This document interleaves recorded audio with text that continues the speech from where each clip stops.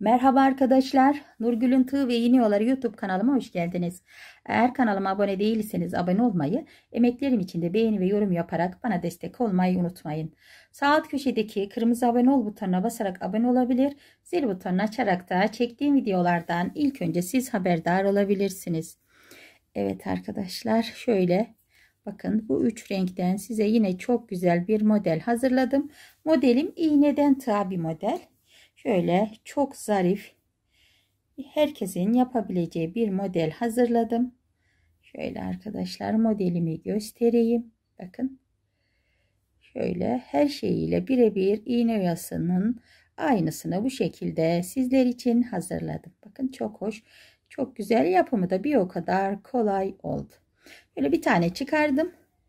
Ee, bir tane de sizlerle yapacağız. Şöyle arkadaşlar tülbenti çekip bir tane daha göstereyim. Bir kere daha göstereyim bu şekilde. Evet. Şimdi modelimizin anlatım kısmına geçelim. Şöyle ikişer zincir çekerek tülbent kenar tığlama işlemlerini yapıyoruz. Tığ battının içine ile sık iğne ile ipimizi sabitleyerek şimdi ilk başlar gibi başlayacağız. Bakın arkadaşlar. Şöyle ara suyunu daha önce sizler için hazırladım. Ben 4 tane bıraktım. 4 tane de gayet iyi şöyle iğne yastığını andırsın için bu şekilde hazırladım. Evet şimdi arkadaşlar şöyle ilk başlar gibi başlıyoruz. Bu arada eğer tığ battımın yapılışını merak eden arkadaşlarımız olursa 696 nolu videomda tüm tığ battı işlemlerim her püf noktası mevcut. 696 Nurgül'ün tığ ve iğne oyaları yazarak bulabilirsiniz YouTube kanalından. Evet şimdi ilk başlar gibi başlıyoruz arkadaşlar. 3 tane zincir çekiyorum. Şöyle yuva yapımıyla başlayacağız. Yuvayı yapınca ara suyununda nasıl yapıldığını göstereceğim. İki tane zincir çekiyorum. Bir defa tığımı doladım. Şimdi yaprağımızın zeminini hazırlıyoruz. Bu şekilde bir trabzan yaptım. İki tane zincir çekip hemen bir yandaki tığ battının içine sık iğne ile sabitliyorum. Yine iki zincir çektim. Bir defa tığımı doladım. Yuvanın içine giriyorum. Şöyle 2 ve 2. 7 tane zincir çekiyorum. 3, 4, 5, 6 ve 7. Şöyle ters tarafına döndüm. Buradaki boş trabzan tepe noktasına bu şekilde 7 zincirimi kapatıp bir tane yuva hazırladım ve arada da bir tane tığ battım var bakın. Hemen 4 tane zincir çekiyorum. 4 zincirimi şöyle döndüm düz tarafına bu 7 zincirli yuvaya sabitledim. 3 tane zincir çekiyorum. Döndüm. Yaprağımızı döne döne yapıyoruz. Bu 4 zincirin içine sık iğne ile sabitledim. Şimdi 7 tane zincir. 5, 6 ve 7. Çevirdim. Düz tarafına dönüp sık iğne ile 7 zincirimi buraya kapattım. Bakın bu şekilde oluyor. 6 tane zincir çekiyorum. Şöyle dönüşlerde bir eksilterek. Bakın burada 4'tü. 3 ile kapattım. Burada 7 ve ikincisini de 6 zincirle bu şekilde kapatıyorum. Şimdi 10 tane zincir çekiyorum. 4, 5, 6, 7, 8, 9 ve 10. Şöyle çevirdim. Bakın. Hemen sağa doğru yaprağımı çekip tamamlıyorum. Şu tarafı şöyle sağa doğru meylettiriyorum. Bu şekilde arkadaşlar. Şimdi 5 tane zincir çekiyorum. Bu 5 zinciri yuvanın içine sık iğne ile sabitliyorum. Yapacağım bu 3 yaprak içinde dal oluyor bu 5 zincirler. 5 zincirimi kapattım yuvaya ve sabitliyorum. Hemen aşağı kaymaması için dallarımın böyle dibine bir tane sık iğne yapıyorum. 2 zincir hemen boş olan tığ battıya iki zincirimi kapatıyorum. Bakın buradaki üçgen trabzanı da tamamlamış oldum. Evet yaprak kısmının yapılışı bu şekilde. Şimdi ara suyunun yapılışına başlayalım. Şöyle 1, 2, 3 zincir, 3 tane tığ battı yapacağız. Yapraktan sonra ara suyuyla arasına 3 tane 3 zincirli tığ battı. 3 zincirimi çekiyorum. Bu şekilde. Şimdi ara suyuna başlıyorum. 5 zincir kapatıyorum 5 zincirimi buraya. Hemen bir zincirle ters tarafına döndüm. 3 tane sık iğne yapacağız bu 5 zincirli yuvaya. 2 ve 3. Geri dönüş için 8 tane zincir çekiyorum. 6, 7 ve 8. Şöyle yanındaki boş olan tığ battıya kapatıyorum. Evet ilk ara suyumuz bu şekilde. Yine 5 zincir. Şöyle kapattım. Bir zincirle dönüşümü yapıp hemen bu 5 zincirin içine 3 tane sık iğne. Şöyle 3. 1, 2, 3, 4, 5, 6, 7 ve 8. Çevirdim. Düz tarafından sık iğne ile sabitledim. 1, 2, 3, 4 ve 5. Kapatıyorum. Bir zincir ile dönüp bu 5 zincirli yuvama 3 tane sık iğne yapıyorum. 1 2 ve 3. Hemen 8 zincir. 5 6 7 ve 8. Dönüyorum düz tarafına. Kapatıyorum. Yine 5 zincir. Boş olan tığ battıya kapattım bir zincirle düz e, şöyle çevirdim ters tarafına. Dördüncü ve sonuncu ara suyumu da bu şekilde yapıyorum. Bakın 2 ve 3. 8 tane zincir. 5, 6, 7 ve 8. Hemen çevirdim. Boş olan tığ battının içine kapatıyorum 8 zincirimi. Şöyle 3 tane zincir çekip bir tane tığ battı yapıyorum. Bakın ilk başlamış olduğumuz şu noktaya geldik arkadaşlar. Ara suyunu yaptık, yaprağı yaptık. İsterseniz bir tane daha yapalım. Bu yaprak kısmı daha net anlaşılsın. Şimdi iki tane zincir çekerek temeli oluşturuyorum. Bir defa tığımı doladım. Yuvaya girdim. 2 ve 2. 2 zincir. Hemen boş tığ battıya. 2 zincir. Yine bir trabzan. 2 ve 2. Bakın bu şekilde yuvanın temelini hazırladım. 7 zincir çekiyorum. 7 zincirimi bu boş olan trabzana kapatıp şöyle bakın 7 zincirden yuva hazırladım bu üçgen trabzanların üzerine. Hemen 4 tane zincir çekiyorum. Çevirdim. Buraya kapattım. 3 tane zincir çeviriyorum. Yuvanın içine sabitledim. Şimdi 7 e, tane çekiyorum. 3, 4, 5, 6 ve 7. Çevirdim. Yuvamın içine girip bakın bu şekilde sabitledim. Şimdi buraya 6 tane zincir çekeceğim. Şöyle 1, 2, 3, 4, 5 ve 6. Hemen çeviriyorum. Bakın buraya sık iğne ile sabitledim. Şimdi 10 tane zincir çekiyorum. 4 5 6 7 8 9 10. Buradaki e, püf nokta da zincirlerin çok sıkı çekilmesi arkadaşlar. İpimi güzelce esnetiyorum ve bu çekmiş olduğum zincirleri de çok sıkı çekiyorum ki kalıp gibi dursun. Şöyle yaptığım yaprağımı sağa çektim. 5 zincirden 2 tane dal yapacağım. Şöyle 5 zincirimi çekip yuvada kapattım. 1, 2, 3, 4, 5 zincir. Yuvada kapatıyorum. Bakın. Şöyle 5 zincirden 2 tane dal yaptım ya yaprağın dibine. Aşağı meyletmesin bu dallar. Şöyle üstte yapacağımız çiçekler de yere değmesin diye muhakkak bu bir sık iğneyi dibine yapın. 2 zinciri çekiyorum. Bu üçgen trabzanın diğer kanadını yaparak Böyle temeli bitiriyorum. Şimdi 3 tane üçer zincirden ara suyu yapacağım. Şöyle arkadaşlar pim bitti sanırsam kayıyor. Evet şöyle ikinci üçüncü üç zincir için şöyle sık iğne ile sabitledim. Evet. Bu şekilde ara suyuna geçilecek yapraktan ve ara suyundan sonra ben 4 tane koydum. 4 tane de gayet ideal. Şimdi çiçeğimizin şöyle şu dallarımıza yapılış kısmına gelsin. Evet yapmış olduğumuz şöyle yaprağımızı tülbentimizi ters tarafına çeviriyoruz. Ters tarafından şöyle yuva yapacağız. Bakın ikinci dalın içine sık iğne ile ipimi sabitledim. 1, 2, 3, 4, 5, 6 ve 7. Şimdi diğer dalımıza sık iğne ile 7 zincirimi bu şekilde sabitleyip yuva hazırladım. 4 zincir çekiyorum. Hemen şöyle çevirdim. Yuvanın içine girdim. Bu şekilde sabitledim. 3 zincir.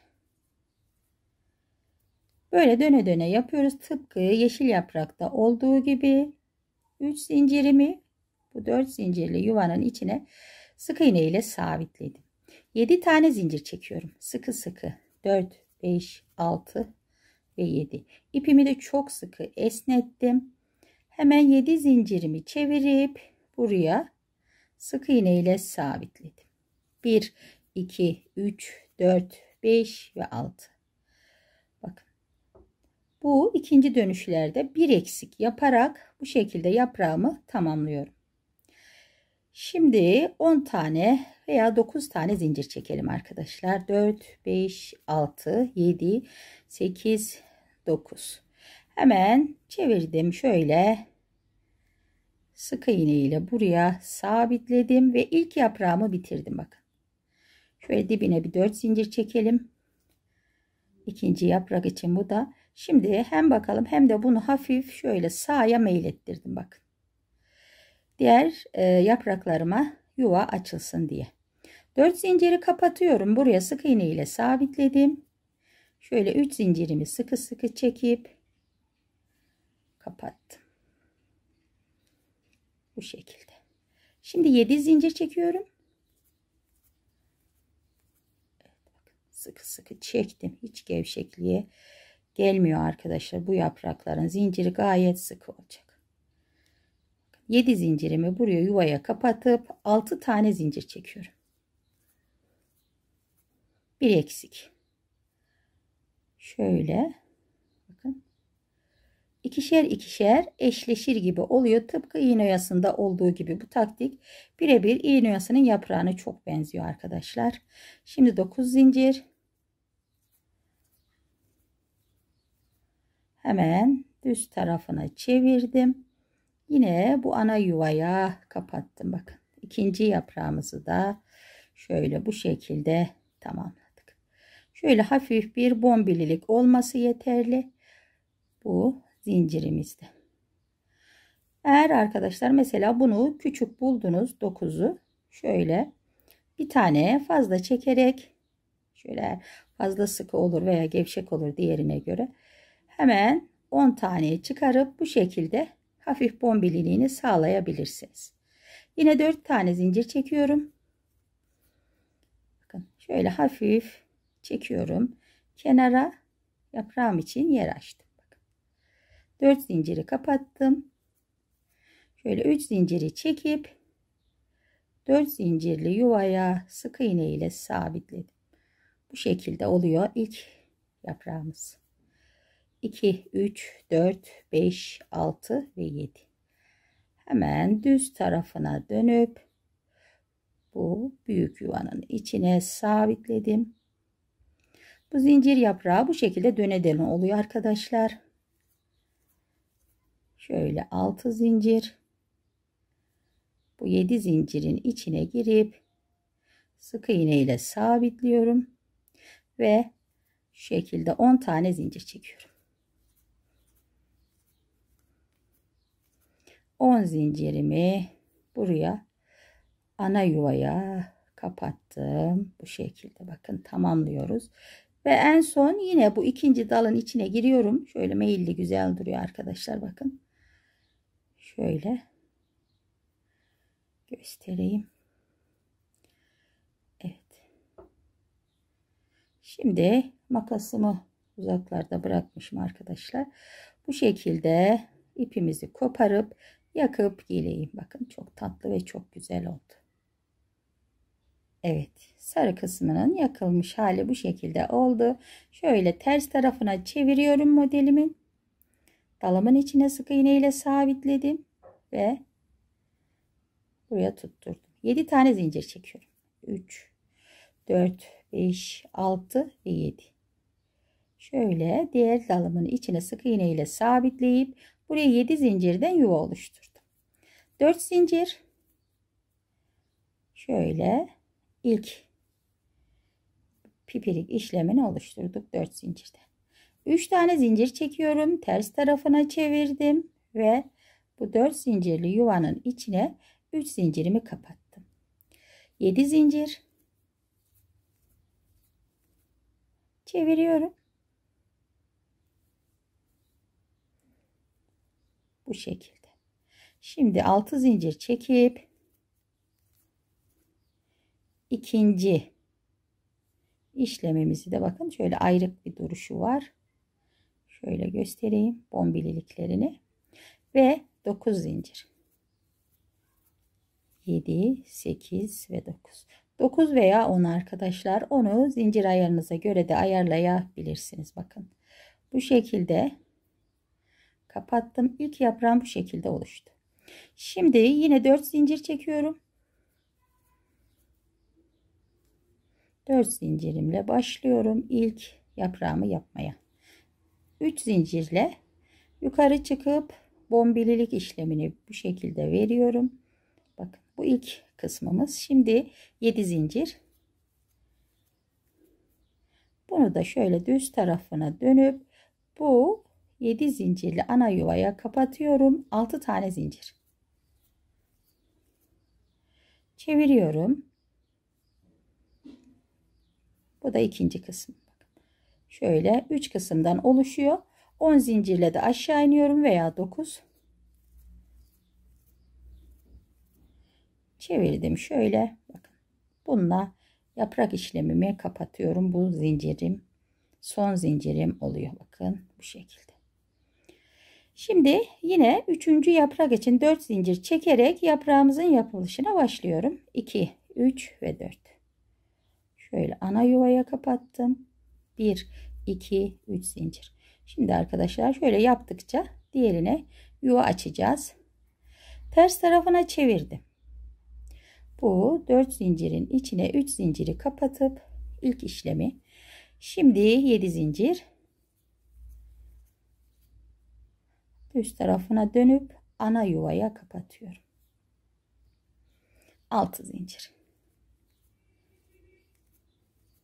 sıkı sıkı çekiyorum kalıp gibi dursun diye ve 10 zincir 5 6 7 8 9 ve 10 Evet son işlemi kapatarak bu, bu şekilde yaprağı bitiriyorum ve koparmadan önce de muhakkak buraya giriyorum ki arkadaşlar şöyle bir meyil güzel duruyor yani bunu girmeyi unutmayın Şöyle makasımı getirdim demin.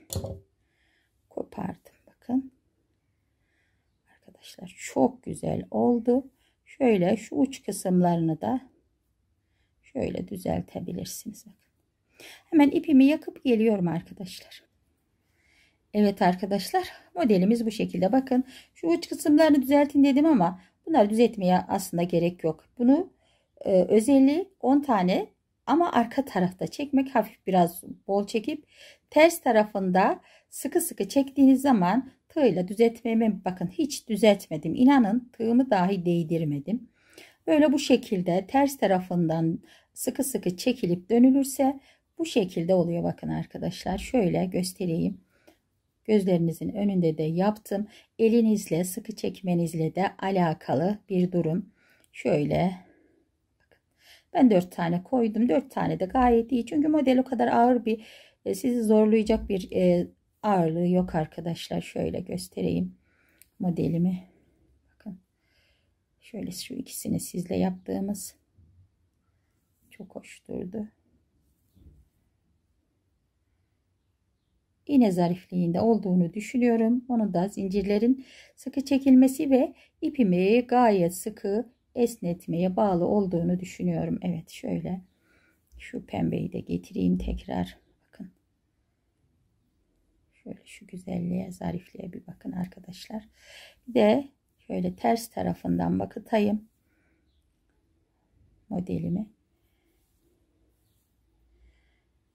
Şöyle. Eğer iğneden tığ yapıyorsanız elinizi sıkı tutun arkadaşlar. Çünkü bu iğneden tuğa kalıp gibi durması için zincirlerinin sıkı çekilmesi gerekli. Tutamadım.